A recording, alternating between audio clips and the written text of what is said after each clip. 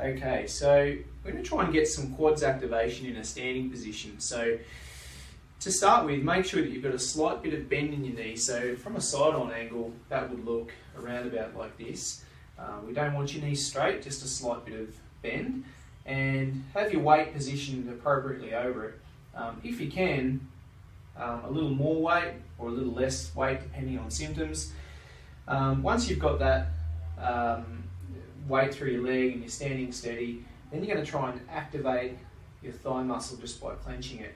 Note that we're not really changing the angle of the knee, of the bend in the knee, it stays the same. We're just going to activate the thigh, try and clench the thigh muscle.